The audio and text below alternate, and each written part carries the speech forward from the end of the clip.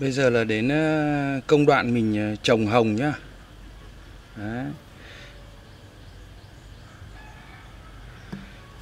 Đây, cành hồng ờ, sau khi mình cắt vào nhá.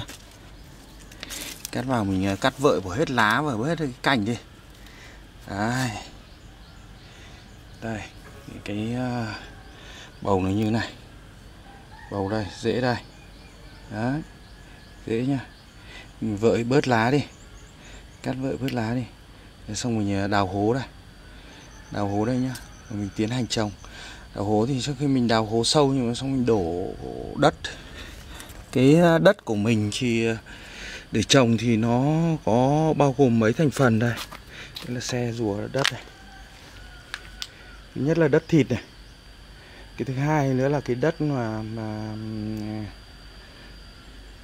nó kiểu như xỉ than ấy tức là đây mình đốt vườn mà đốt vườn này này. Mình đốt vườn thì nó nó nó cái đất nó tạo thành xỉ kiểu kiểu như này. Cái đất này rất là tốt tốt không phải là do chất mà nó ra là thoát nước. Nó thoát nước tốt thì nó sẽ làm cho bộ rễ của hoa hồng nó sẽ sẽ um, khỏe. Cái nữa là mình trộn trộn chấu. Đây, chấu. Và một ít phân gà hoai mục ngay lúc ban đầu trồng mới trồng này thì cái bộ rễ nó còn yếu cho nên không cho nhiều phân bởi cho phân nhiều phân rồi nó sẽ nóng. Nóng sẽ nó làm cây hoa hồng nó sẽ bộ rễ nó sẽ hỏng. Nên bây giờ mình cho một ít thôi đây này. Đây phân gà hoai mục này nhá. Đấy, phân gà hoai mục. Và chấu chủ yếu là chấu. Nhiều chấu tỷ lệ nó phải à, 40 30 40 50 chấu. Đó. bây giờ mình đào hố xong rồi mình cho mình cho à, cái đất phân vào rồi. Đó. đất phân vào rồi. Bây giờ mình sẽ tiến hành à.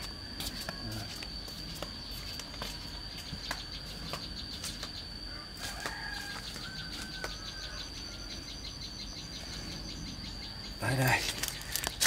Bầu chiết đây nhá, dễ này. Đấy, bây giờ mình sẽ tiến hành à. trồng. Đấy dưới này đã, là có một lớp đất trộn với chấu rồi đấy. cũng không nên trồng sâu quá mình trồng nông thôi đấy, đây.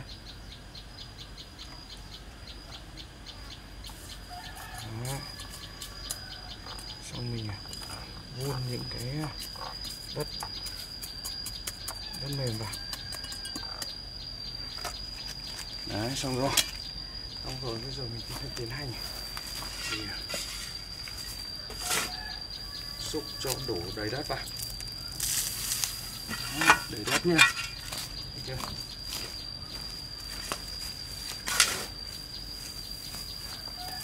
xúc đổ đầy đất. Đó.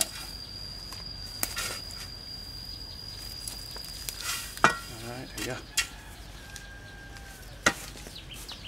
Đầy đất rồi thì bây giờ mình sẽ tiến hành là mình sẽ bơm nước vào. Bơm nước vào cho nó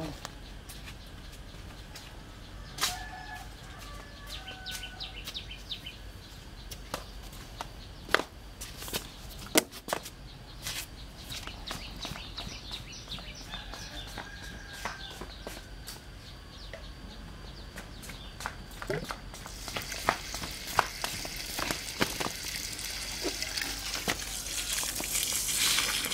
đây nhé các bạn nhé.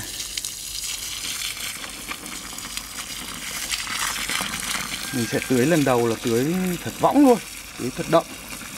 Võng luôn để đất à, nước các thứ nó hòa quyện với nhau và nó kín hết các cái khe kẽ.